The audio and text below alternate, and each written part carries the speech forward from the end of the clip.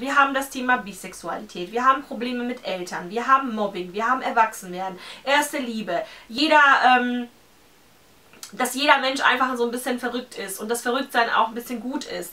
Äh, wir haben Toleranz, Selbstbewusstsein, Loslassen lernen. Hey Leute und herzlich willkommen zu einem neuen Video von mir. Ich möchte in meiner Reihe die Jugendliteraturbuchpreisträger ähm, die Reihe fortsetzen. Denn ich habe vor einiger Zeit schon ähm, die Gewinner der letzten Jahre vorgestellt. Ich habe eine Playlist erstellt, in der alle Jugendbuchpreisgewinner einzeln rezensiert sind. Da könnt ihr da mal reinklicken.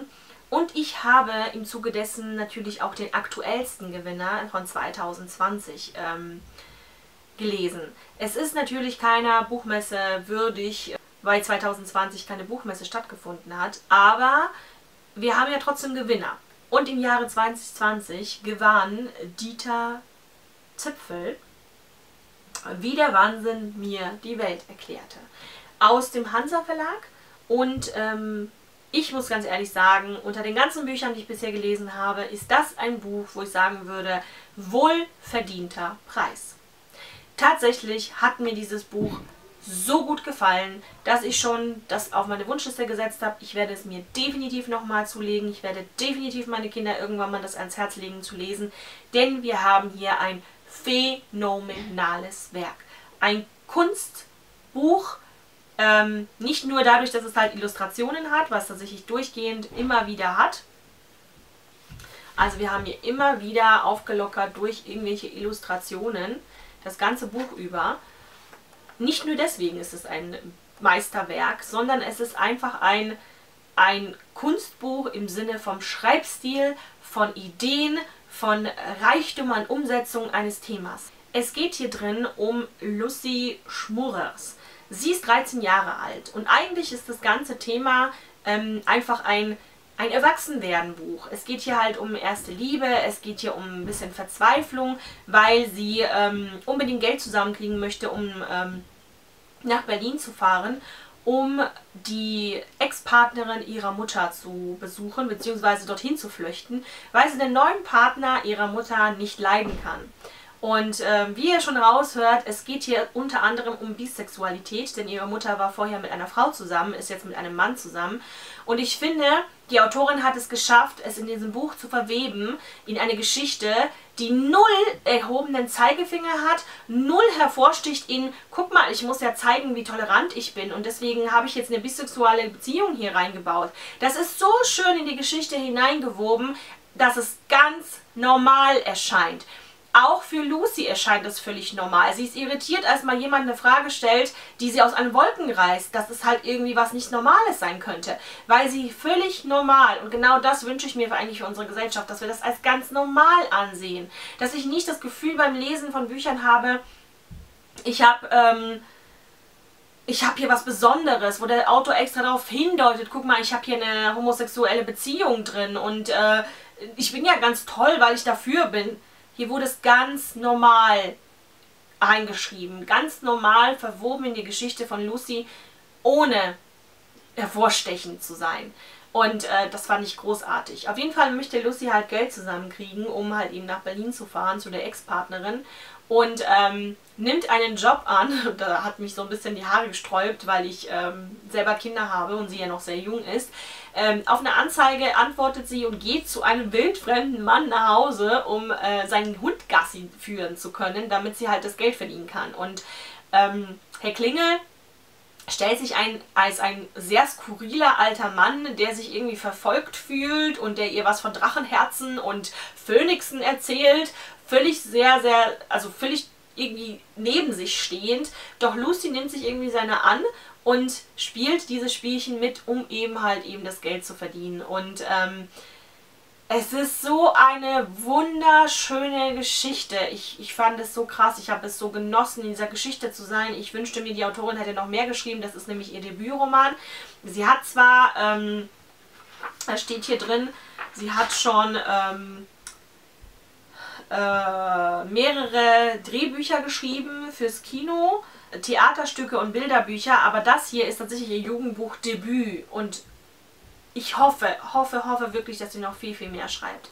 Ich meine, ich kann euch ja mal ein paar Themen aufzählen, die hier alles eine Rolle spielen in diesem dünnen Jugendbuch und alle ihren Anklang finden, alle bis zum Ende ausgearbeitet sind, nichts irgendwie fehlt, nichts weggelassen wird. Wir haben das Thema Bisexualität, wir haben Probleme mit Eltern, wir haben Mobbing, wir haben Erwachsenwerden, erste Liebe. Jeder, ähm, dass jeder Mensch einfach so ein bisschen verrückt ist und das Verrücktsein auch ein bisschen gut ist. Äh, wir haben Toleranz, Selbstbewusstsein, Loslassen lernen, ähm, das Thema allgemein Familie, das Thema ähm,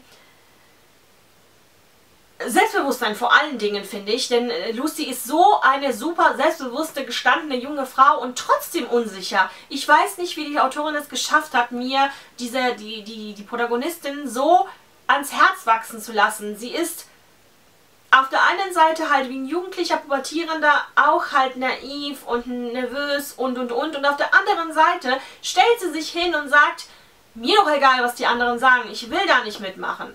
Und das fand ich so schön und glaubwürdig auch rübergebracht. Sie war eine grandiose Protagonistin. Es war ein grandioses Werk. Ich kann es absolut verstehen. Das ist das erste Mal in all dieser Zeit, in die ich Bücher gelesen habe, wo ich nicht hinterfrage, warum dieses Buch einen Preis gewonnen hat. Wo ich nicht hinterfrage, warum ausgerechnet dieses Buch gewählt wurde. Es ist großartig. Mehr kann ich dazu nicht sagen. Wir haben hier so viele wichtige Themen, so viele Weisheiten, die nicht einfach äh, plump da hingeworfen wurden, sondern richtig schön im Kontext, im Text stehen Großartig. Ich, ich kann es euch echt empfehlen. Hier steht ein Buch für alle, die wie Lucy gerade erwachsen werden, die noch nie vom toxischen Schocksyndrom gehört haben, für alle, die an Einhörner glauben oder es nicht tun. Super, super, super Buch. Ich kann es euch empfehlen. Lest es. Lest, wenn ihr gerne Jugendbücher lest, dann lest es. Es ist ganz toll. Für alle junge Leute, die das, dieses Video sehen, lest es. Ihr könnt noch eine Menge über unsere Welt lernen. Und der Titel passt wie die Faust aufs Auge. Großartig. Großartig. Ich habe mich echt gefreut, dass ich das Buch gelesen habe und ich werde weiterhin das Jugendbuch, äh, Jugendliteraturbuchpreise im ähm, Auge behalten. Ich glaube, es gibt durchaus noch so einige Schätze, die in den nächsten Jahren vielleicht da kommen werden. Ich finde die Entwicklung super. Also ich fand ja schon, ähm, dass vor zwei Jahren, glaube ich, oder vom letzten Jahr, ich weiß nicht mehr genau, äh, fand ich auch schon sehr, sehr gut. Habe ich auch schon gelesen. Ja, also, ich finde, ja, ich war sehr, sehr, sehr, sehr begeistert. Das merkt ihr, glaube ich, an meiner Aussprache und an meiner Euphorie über dieses Buch, denn es ist wirklich ein sehr, sehr, sehr, sehr Kennt ihr es? Habt ihr es gelesen? Beschäftigt ihr euch überhaupt mit Jugendliteraturpreisen? Ich weiß, die meisten auf Booktube interessieren sich eher für ähm, die Literaturpreise für Erwachsene. Ich finde aber gerade die Jugendbücher haben oftmals nochmal so ein bisschen was Besonderes und ähm, bei dem deutschen Literaturpreis habe ich, hab ich also das Gefühl, schreibt man einfach über Zweiten Weltkrieg oder DDR oder schwierige äh, Kriegsgeschichten, hat man sowieso schon die Nase vorn was mich null interessiert. Und deswegen finde ich so Jugendbücher haben einfach viel, viel mehr Themen, die mich tatsächlich ansprechen, die ich aktuell sehr, sehr wichtig finde. Und ähm, ja, deswegen bin ich ganz froh, dass ich es gelesen habe.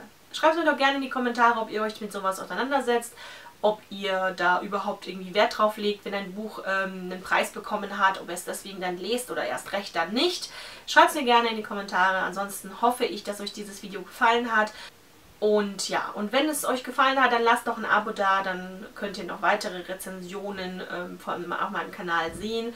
Und ansonsten freue ich mich, wenn wir uns beim nächsten Video wiedersehen, wenn ihr wieder einschaltet. Macht's gut, bis dann.